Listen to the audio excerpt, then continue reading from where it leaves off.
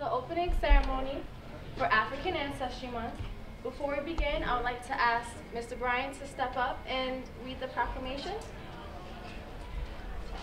All right, National African Ancestry Month at Passaic County Community College. Whereas February 1st through February 28th is designated as National African Ancestry Month in the United States of America. Whereas Passaic County Community College is committed to hosting activities highlighting the history and culture of people of African descent. Whereas the many African American people that have made their home in Passaic County throughout New Jersey and the United States have been helpful in molding social, cultural, and economic life. Whereas the theme for this month is a century of black life, history, and culture.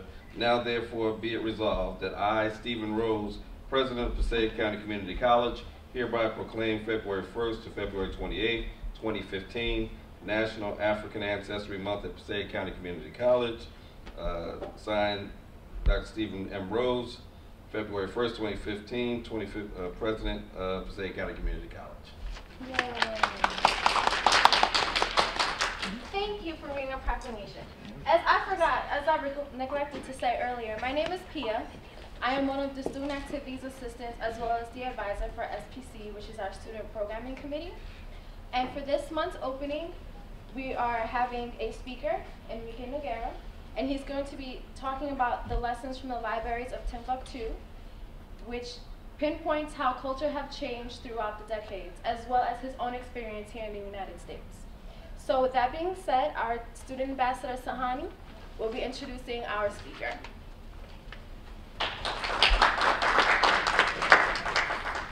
Good afternoon. For those of you who may not know, our speaker, Enrique Noguera, is the EOF administrator for the Educational Opportunity Fund at Passaic County Community College. Mr. Noguera's research focuses on non-traditional youth engagement and social emotional safety in urban schools. Mr. Noguera is the advisor of PCCC's Gamma Upsilon chapter of Chi Alpha Epsilon National Honor Society and an active supporter of BMLI, the Black Male Leadership excuse me, Leadership Initiate. Outside of PCC, Mr. Noguera directs scholars organizing culturally innovative opportunities, a Saturday civic engagement and college preparatory program that trains Franklin, Franklin High School students in Somerset, New Jersey, to use geographic information systems technology to build maps that are used to improve their community and beyond. Enrique Noguera received his bachelor's degree in urban planning and Africana studies from Rutgers University, and his master's in social and philosophical foundations of education from Rutgers. Previously, he has occupied positions with AmeriCorps and Rutgers University. Prior to arriving at PCCC in July 2014, he was a school climate and culture specialist at Red Bank Middle School in Red Bank, New Jersey. Can we all give a warm welcome to our speaker, Mr. Enrique Noguera.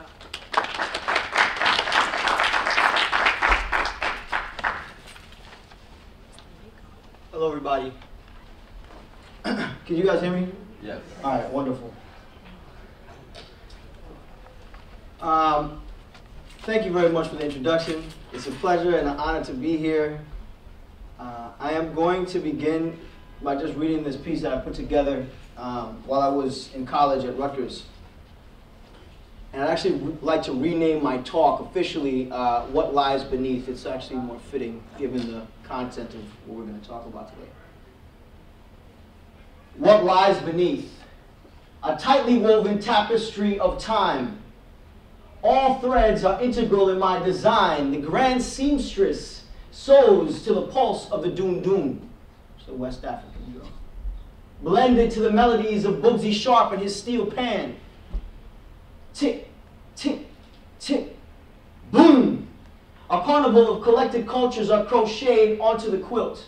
Bass clefs bounce with the vibrations as they strum the treble strings to the beat. On the other side, Europe is glued on, not stitched. It robbed and raped my Africa when already it was rich. A Spanish conquistador is drawn in pencil holding a firearm to a great grandmother's breast, forcing the fornication of colonization and culture. Each pelvic pump bleached black silk and Revlon, each strand of my cosmic connection. My complexion is a daily reminder of its deception. Hello, everyone. Again, my name is Enrique Noguera, and I'm the EOF administrator here at Passaic County Community College. It is a privilege to stand before you today to kickstart Black History Month here at the college, its opening ceremony. I began with What Lies Beneath, a poem I wrote while I was an undergrad at Rutgers, because it's a snapshot of who I am, of my heritage and where I come from. On the surface, it explains my physical appearance, why I look the way I do. But on a deeper level, it's a major factor for why I agreed to stand here before you today. Before I begin my talk, I must say that the black experience in America has been poked and prodded and molded and truncated and watered down and molded so much that for fear of perpetuating a cycle of miseducation and misrepresentation, I would not dare present my rendition of a century of black life and culture here before you today. I wouldn't be qualified to do that. Even if I was a historian or received my doctorate in Africana studies, it's impossible to accurately capture the experience or impact made by any group of people in its entirety from one voice in one 30-minute presentation. In other words, the story needs to be shared by many voices in classrooms, in homes, public fora, all around the world, and it needs to be informed by scholarly, peer-reviewed works in the form of books, articles, and lived experiences. So I decided to use my black experience in Trinidad and in the United States as a roadmap to guide, to guide my presentation. This means that I will jump. I'm going to jump from continent to continent. I'm going to jump from era to era for the sake of time. And this will all happen as I weave my own life's experiences through the narrative. I hope I can answer all your questions at the end of the talk, but it is my mission as today's presenter and as an educator to whet your intellectual appetites so that you leave here wanting more and asking questions about who you are and where you come from. Now, let's begin a more thorough introduction. My name is Enrique Omar Mandela Noguera. Aside from the blood flowing through my veins, my earliest connection to the continent is my middle name, Mandela. Continent of Africa, that is. In 1994, Nelson Mandela became the first president of a free black South Africa, or free South Africa, period, after spending 27 years in prison resisting apartheid, a race-based system of oppression similar but worse than Jim Crow here in the United States, where black people were at the bottom of the social hierarchy. Upon assuming role as president, the mastermind that was Mandela was inspired by Mahatma Gandhi and Satyagraha. He adopted peace and reconciliation instead of responding to violence with violence. Now, a question for the audience. Name a popular African American figure who was also inspired by Gandhi Satyagraha. Let me see some hands. I'll give you a, a, a hint. There's a gigantic statue of him in the hallway. yes, Martin Luther King Jr., Dr. Martin Luther King Jr. All right. So now, as I said, I was named after Mandela, but I was not born in 1994 after he assumed presidency in, in South Africa. I was born in 1986 when he was still in prison. Back then, there was a global movement which was pivotal in bringing down apartheid called divestment. Right? So divestment, so the opposite of investment, right? Investing, putting time into something, putting money into something. Divestment was about pulling resources out. The divestment campaign, after being realized in federal legislation enacted in 1986 by the United States, is credited by some as pressuring, pressuring the South African government to embark on negotiations, ultimately leading to the dismantlement of apartheid system before because of the fact that it pressured corporations and major institutions, many universities, to stop operating and investing money in the South African economy during the time of apartheid.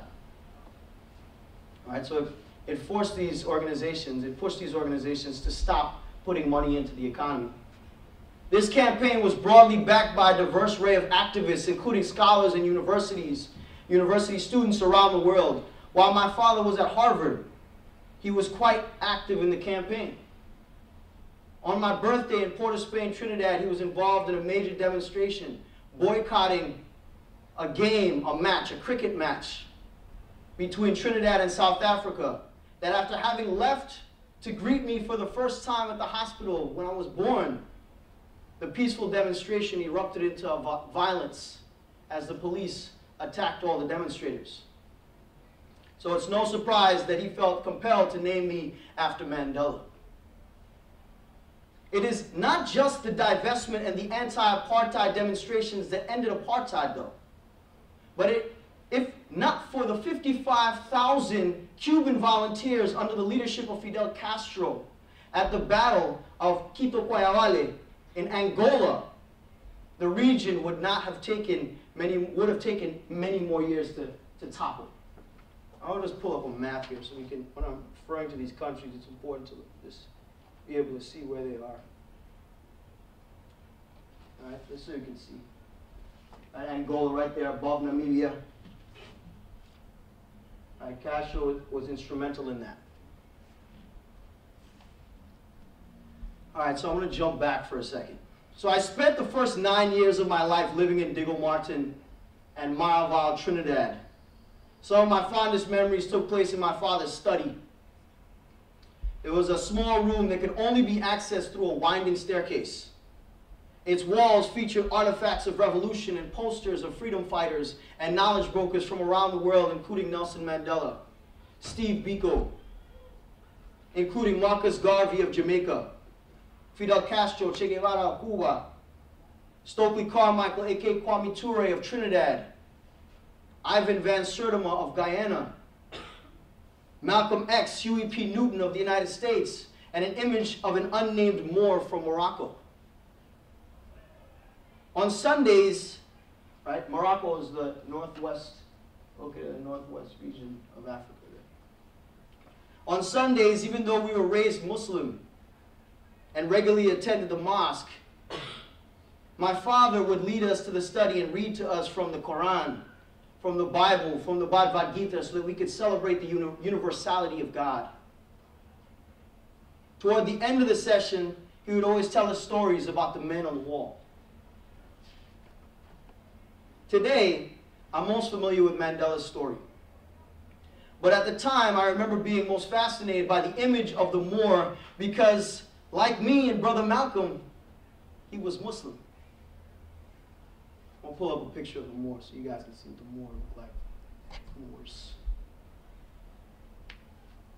The Spanish occupation by the Moors began in 711 AD when an African army under the leadership of Tariq ibn Ziyad crossed the Strait of Gibraltar from northern Africa and invaded the Iberian Peninsula, Andalus. All right, so just to refer back to the map for a second, that's like right here. Morocco, the Moors crossed, right? And this is where they set up camp, right in Spain, right? Spain and what is modern day Spain and Portugal. All right, the Moors who ruled Spain for 800 years introduced new scientific te techniques to Europe, such as the astrolabe, a device for measuring the position of stars and planets scientific progress in astronomy, in chemistry, in physics, mathematics, geometry, philosophy flourished in Moorish Spain. At its height, Cordoba, the heart of the Moorish territory in Spain, was the most modern city in all of Europe. The streets were well paved and raised sidewalks were there for pedestrians. During the night, 10 miles of streets were well illuminated by lamps. This was hundreds of years before there was paved, one paved street in Paris or a street lamp in London. Education was universal in Moorish Spain, available to all, while in Christian Europe, 99% of the population were illiterate. Even kings could neither read nor write. At that time, Europe had only two universities. The Moors had 17. In the 10th and 11th centuries, public libraries in Europe were non existent. While Moorish Spain could boast of more than 70, of which one in Cordoba housed 600,000 manuscripts. Over 4,000 Arabic words and Arab, Arabic derived phrases have been absorbed into the Spanish language. The Moors introduced paper to Europe and Arabic numerals, which replaced the clumsy Roman system. The Moorish, the Moors introduced many new crops, including oranges, lemons, peaches, etc. Right? Many of which remain Spain's main products today. The Moorish rulers lived in palaces, while the monarchs of Germany, France, and England lived in big barns. The barns had no windows, no chimneys. There was only one hole in the roof for, for an exit to allow smoke to exit. It was through Africa that new knowledge of China, India, and Arabia reached Europe. The Moors brought the compass to China, from China into Europe. The Moors ruled the Iberian Peninsula, comprised of modern day Spain and Portugal, as I said, until 1492, with the fall of Granada. Spanish refer to this period of time as La Reconquista, which is the reconquest. In short, the Moors made tremendous contributions to the world that are still present today. That's right. You may know something about Egyptians, about ancient Egypt, but now you know a little bit something about the Moors. If you didn't already. The message is plain and simple. Black people, descendants of Africans, our history is bright and beautiful, and it begins well before slavery in the Americas. All right, back to my story. On July 27th, 1990, there was an attempted coup d'etat where a fundamentalist Islamic group known as the Muslimin attempted to overthrow the Trinidadian government and take political control of my country. This marked an important turning point in my life, not only because we stopped attending the mosque, but shortly after this event, my parents' marriage ended. They got divorced. And my brother, sister, and I left the country with my mother to permanently live in the United States. My mother graduated from Rutgers University with a bachelor's in psychology, but after moving to Trinidad and spending 11 years as a housewife, she returned to the United States as a single mother with three children to feed. We spent the first six months of our experience in the U.S. living with my uncle in Chesapeake, Virginia. My mother worked 50 hours a week, packing refrigerators and cashiering at a local 7-Eleven, while my siblings and I experienced the smack in your face reality of being racially classified as other.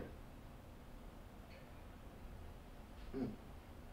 It's part of the challenge. Uh, I quickly realized one of the challenges of being culturally, racially mixed people and, and living in the United States. Even though my mother is primarily black and Cherokee, and my mother and my father's parents were born in the Caribbean with ancestors from Venezuela, Spain, and the western coast of Africa, who were brought to the Americas through the Middle Passage like many other ancestors. Most people felt uncomfortable around me and my siblings because they couldn't place us in any single racial or ethnic box. So they just made assumptions about who we were. In Chesapeake, I was just other because I sounded like I was Jamaican and I looked like Puerto Rican. Um, but by the time my mother moved to Orange, New Jersey, and my Trinidadian accent began to fade, I immediately became labeled as Latino or Spanish. My brother became Indian because of the three of us, he has the darkest skin and he has long, black, straight hair. My sister would be classified as looking Latina because of the fact that she looks like a mix of the two of us. And she, you know, either that or she could be classified as being light skinned black, you know, because of her light skin. That's a challenge. However, very few people in those early years would ever believe that I'm of African descent. And still today, many people don't believe. Um, as if I failed some kind of invisible brown bag test. And when they saw my siblings and I together, it was very difficult for them to believe that we came from the same two parents. I remember many occurrences, many times in the barber shop, in the supermarket, where people will look, at, look and ask like how we related, how we knew each other. They say, somebody done lied to you if you think y'all came from the same family. It's terrible. As you can probably imagine, those early years were uncomfortable at times, but the observations that stuck with me regarding my early black experience in American schools was that even though I took American history probably about 10 times between like third grade and 10th grade, whether it was my, my public elementary school in Chesapeake, Virginia, or Orange, New Jersey, or my private Blue Ribbon High School in Montclair, New Jersey, very little black history was featured in my American history class. They always featured lessons about Harriet Tubman, Frederick Douglass, Dr. Martin Luther King Jr., maybe Malcolm X, and they taught us that the black experience in America began with slavery. After living in Trinidad and losing my accent, I found myself assimilating into this urban American culture. As I assumed the new lifestyle, I began letting go of my Trini multicultural heritage. As many of my father's stories drifted from my memory, aside from brief conversations about disbelieving peers, with disbelieving peers about people like Ivan Van Sertima, who spent, who did extensive research demonstrating that Africans came to the Americas before Columbus. I really didn't, you know, I didn't really know, I didn't do much about the truncation of black history in school until I was a senior at my Blue Ribbon Private High School in Montclair when my U.S. history teacher made the very great mistake of comparing the Black Panthers and saying that they were the black version of the Ku Klux Klan.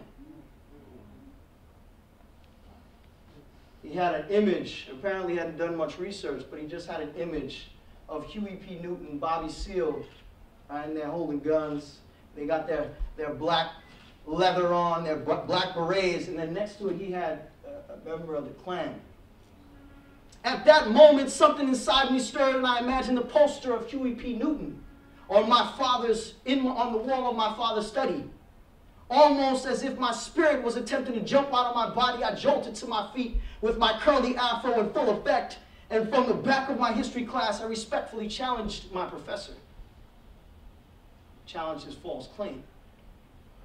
Cobwebs brought on by self-inflicted suppression of my people's history in an attempt to fit into a society that celebrated lies passed on as truth by colonizers in the form of American history. At that moment, I woke up.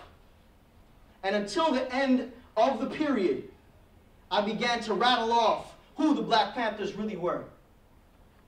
While the KKK indiscriminately discriminated against black, some white, every shade between, and were responsible for racially charged lynchings of countless black people in the name of white power and white pride.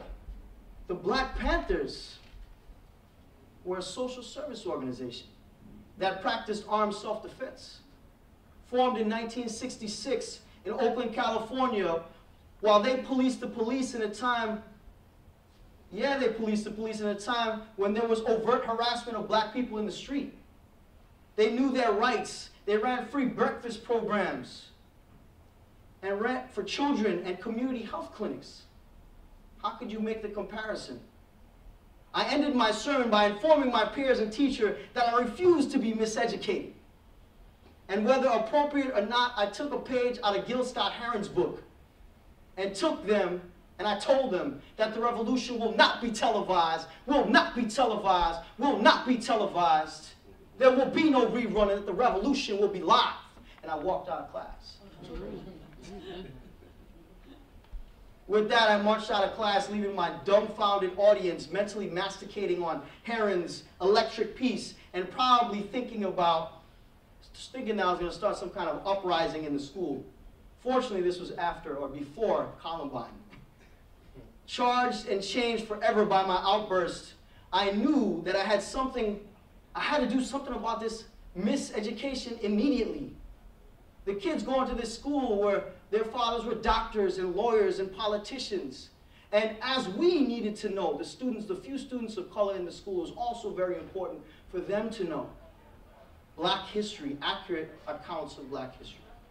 I gathered my friends, and after a few after school meetings, we decided to form a committee called the African American Studies Committee with the mission of starting an African American Studies class. And until we got our class, our primary function was to educate the school community about black history, even if that meant force feeding the people information. We were not playing. Within a week, we drafted a petition for the class and got it signed by 95% of the student body. We printed a newsletter called The Movement that featured the Black Power Fist as its emblem. The movement served as our major means of educating the students. In accordance with our mission, we featured bios of influential African Americans that we didn't learn about in school, like Kwame Ture, Booker T. Washington, W.E.B. Du Bois, Ella Baker, Angela Davis, Marcus Garvey. We also featured opinion pieces about the state of black people in America at that time.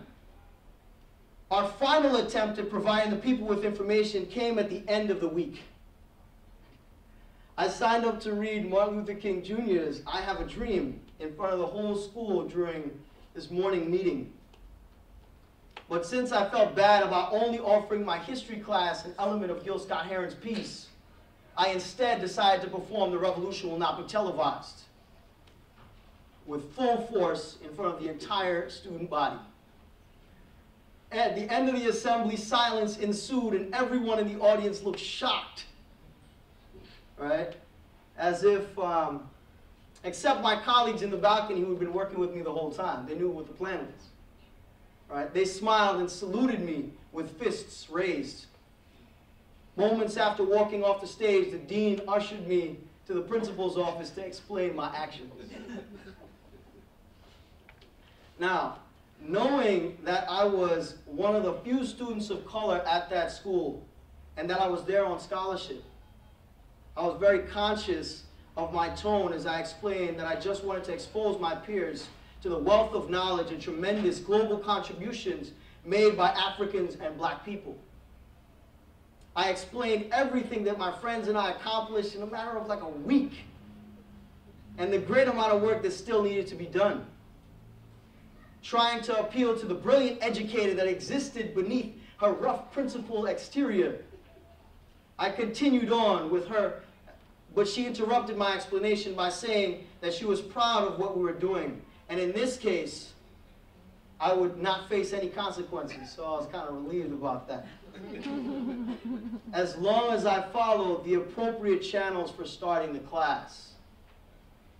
I felt relieved by the outcome, but I knew with only a few weeks before graduation, I would have to kind of lay low, work with the administration, my colleagues and I received scholarships upon graduation for our activism, but guess what?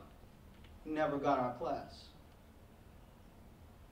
At Rutgers, I made it a point to minor in Africana Studies so that I could deepen my very bare bones understanding of the tremendous impact made by black people around the world. Africana complemented my urban planning major because I studied power levers anchor institutions in a given city, right? In the form of schools, places of worship that influence how people think and what they do, right? And what we do in the grand scheme of things, in the workings of the world. Eventually, I received a master's in education because I realized that it's dangerous when teachers miseducate students about their history and when textbook publishers mask events like Columbus's genocide, the mass killing that began in 1492 as the arrival of civilization and the discovery of the New World when it was already inhabited by the Caribs and Arawaks and other native groups. Or when proven facts are intentionally omitted from high school textbooks, like Africans visiting the Americas before they were brought over as slaves. Or the Moors who ruled Spain for 800 years or when John Edgar Hoover's COINTELPRO and its military dis dismantlement of the Black Panther Party and the whole black liberation movement. These are absent from the textbooks. So, what does this mean for all of us today? What is our response to the mass incarceration of black people in the U.S.? According to the NAACP, the U.S. is 5% of the world's population and makes up 25% of the world's prisoners. African Americans now constitute nearly 1 million of the total 2.3 million incarcerated population.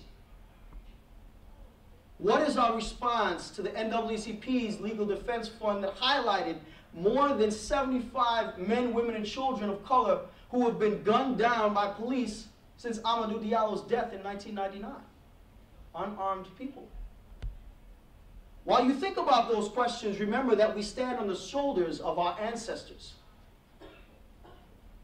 from all over the world who fought, bled, and died for us to be afforded the right to vote and the opportunity to attend and pay for college. This opportunity. And that we have a responsibility to secure these opportunities for ourselves, our families, our communities, and for those who are unborn, those to come. In addition, do not accept the second class stamp of Negro or the other N word. Do not sit and soak in ignorance. Don't just take my word for it. Read about your history. Right? If you need suggestions for books, talk to me. I have lists. Right? Pay attention to current events in Paterson, in New Jersey, in the US, and throughout the world. Whether you are black, white, or brown, we are all connected. In celebration of our common humanity, let's treat each other with love and with respect. Thank you.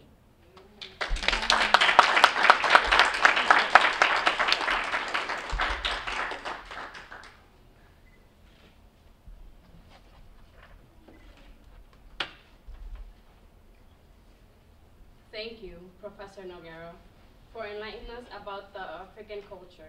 To show our gratitude, we would like to present you with this certificate of appreciation. Oh, thank you.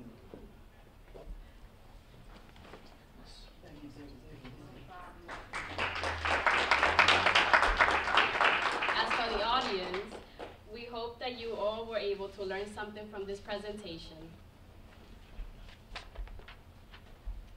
So this will conclude our opening ceremony for African Ancestry Month. We do hope that it was enlightening. It sure was for me.